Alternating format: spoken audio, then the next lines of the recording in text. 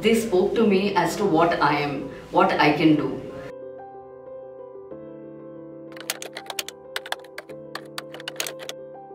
Hi, I'm Promita. I am an EA assisting four leaders. I have been uh, working in corporate, which is about 18 years, and um it was a good journey overall. It's been long, like you know, I've been in corporate, let me do something different.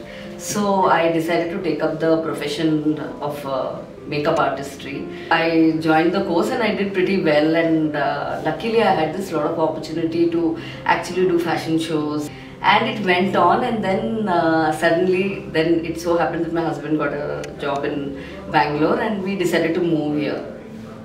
So I came here totally new to the city, uh, no idea of which direction should I be going. I decided that I should start freelancing.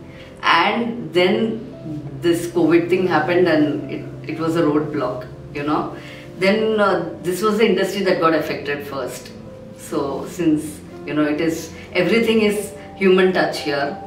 So it just died down completely. There was no option at all. So I decided that corporate is my best option. But now I have a few years of gap. I updated my CV, would sit every day one hour on LinkedIn. But again, I hit a roadblock. People would see my CV, they would even call me, but end of the day, nothing was happening. I started getting demotivating. The whole reason was it was my age criteria. And then it so happened that uh, I got a call from InMobi. I would say right from the beginning, the time the call started, till I'm here now, I would say my experience has been awesome. The reason is, this is the first company where in interview, they never asked anything about my past. It's just they spoke to me as to what I am, what I can do. So that was quite impressive. Uh, and when they knew that I was doing something else, where all other companies would consider it as a gap, or you know, you have been in a different profile, they were very happy. They said, "Wow, you're doing some versatile things, and uh, it will be so nice if we have you here. Probably you could conduct a session for us." Maybe it took time because I had to come here, and this was the right place.